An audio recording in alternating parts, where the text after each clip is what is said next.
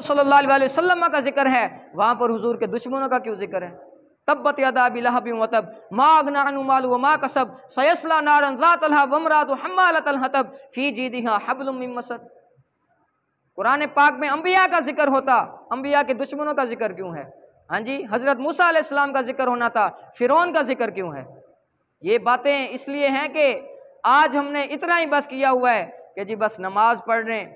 रोज़ा रख लें रमज़ान शरीफ में, साल के बाद मिलाद शरीफ की महफिल में शिरकत कर लें। बस जी कुरान पाक पढ़ लें, हज की इस्तात है तो हज कर लें, हमारा ईमान मुकम्मल हो गया।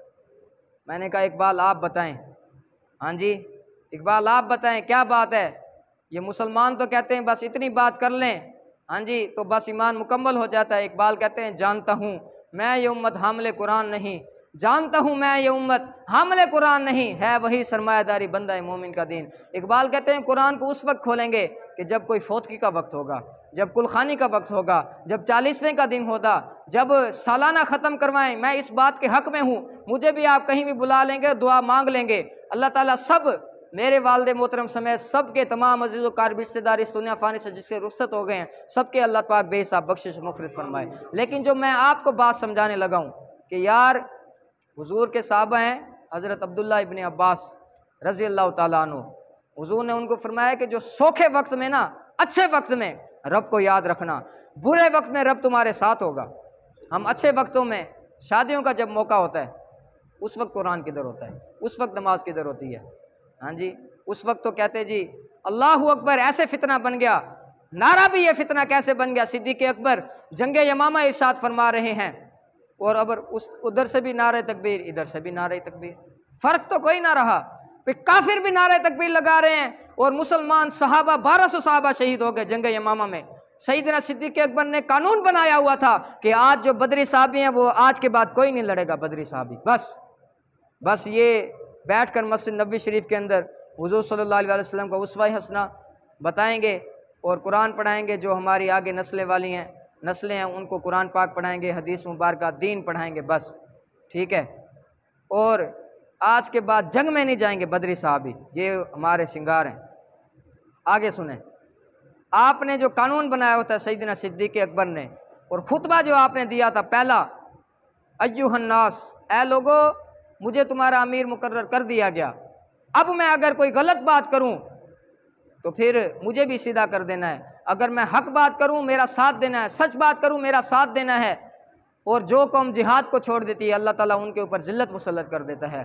और जिस कौम के अंदर फहाशी, उरियानी आम हो जाती है, अल्लाह ताला उनको ऐसी मुसीबतों के अंदर डाल देता है कि वो फिर हाँ इस तरह फिर जो है ना, आज अगर दीन के ऊपर ना चलना पड़ेगा, कलमा पढ़ने के बाद अपनी मर्ज़ी ख़त्म हो जाती है बंदे की। कब्र में भी रसूलुल्लाह ने आना है, और जहाँ भी जमा तफरी कर लें, आगे हुजूर ही खड़े होंगे। हाँ ये बात पक्की है। हुजूर ने फरमाया मैजान के वक्त भी मैंने खड़े होना है और पुल सिरात पर भी मैंने खड़े होना है। और जहाँ पर इतनी ज़बानें बाहर होनी है ना, हौज कोसर के वक्त, उस वक्त भी हुजूर ही खड़े होने हाँ। जहाँ भी जमा तफरी आगे हुजूर ही खड़े हैं। हुजूर सल्लल्लाहु अलैहि वसल्लम के ये खलीफा बिला फ़सल सईदना सिद्दीक अकबर, जब पूछा गया कि उधर से भी नारे तकबीर, इधर से भी नारे तकबीर, मुनकरीन ख़त्म नबुवत जो हुजूर वसल्लम का आखिरी नबी नहीं मानता, मुर्तद है, काफ़ी है, काफिर है, लानती है, मुर्तद है, काफिर है, जहन्नमी है, गुस्ताख रसूल है। हाँ मन सब्बा नबी जन फ़ख्तलूहू ये बात है, सिद्दीक अकबर, ख़त्म नबूवत की जब जंग हो रही थी, उधर से भी नारा तकबीर, इधर से भी नारा तकबीर, पूछा कि अब जो है क्या करना है? फ़र्क तो कोई ना रहा। आपने फरमाया कि अब अगर उधर से नारा तकबीर बुलंद हो तो इधर से हमने नारा या मोहम्मदी सल्लल्लाहु अलैहि वसल्लम नारा रिसालत बुलंद करना है। हाँ ये है वो बात। आपने वो फिर कानून ख़त्म करके आपने फरमाया, आप कोई बदरी है या गैर बदरी है? नाबीना है या आँखों वाला है? माजूर है या जैसा भी है? बूढ़ा भी है? सारे पहुंचो ये मामा। ये है वो। हाँ ख़त्म नबूबत की बात।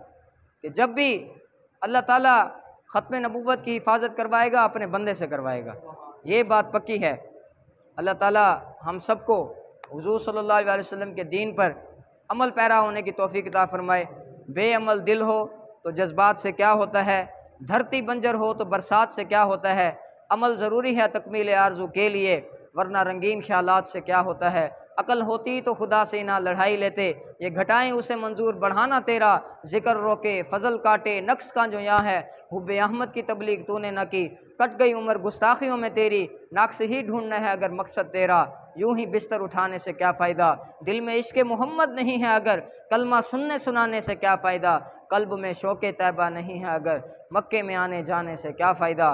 खुश्क सज्जे किए खूब माथा घिसा, और पेशानी पर दागे सज्जा बना। कल्ब दागे मोहब्बत से खाली रहा, यूँ ही माथा घिसाने से क्या फ़ायदा?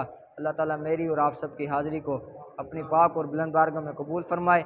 अल्लाह पाक हम सबको दीन इस्लाम पर चलकर हुजूर अलैहि वसल्लम की मोहब्बत, इश्क और दिल के अंदर वही बात और सोज अता फरमाए जो सईदना सिद्दीक अकबर, उमर फ़ारूक, उस्मान गनी, सहाबा, ताबीन, तबा ताबीन, अहल बैत और जो भी हुजूर के ग़ुलाम हरा बरा कन्नक करा, कराई करी मन्नत दरा इदल मकारी मुफिया फ़ाकिन एजाज़ुकरत वफ़ीन आबी का युद्रबुलमसलू कि या सल्लल्लाहु अलैहि वसल्लम, क़यामत तक जब भी कोई बड़ी बात होगी, किसी को नहीं पेश किया जाएगा। या रसोल्ला आपकी बरकत से आपके ग़ुलामों को ही पेश किया जाएगा। आमीन। वाखुरदावन अलहमदिल्ला जिन हजरात ने सुन्नतें अदा करनी, वो सुन्नतें अदा फरमा लें।